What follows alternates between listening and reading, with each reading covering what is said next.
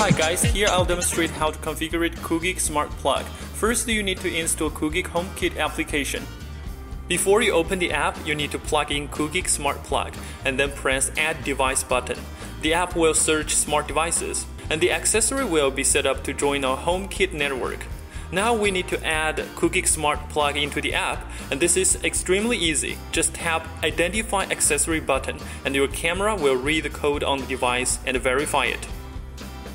Okay, we've installed our Koogeek Smart Plug successfully and it's time to see how it performs. The app offers lots of customizations for you. You can set the name for your smart plug and when you press the light button, your light will be turned on immediately and you are able to see the details of the plug, like turning on and off the appliances that have been plugged in and whether the Koogeek smart plug has been connected to the power. You can even see your electricity usage records and how much power the appliances will consume per hour, which is pretty convenient if you want to slash your electricity bills. And the setting timer allows you to decide when to turn on and when to turn off your appliances automatically.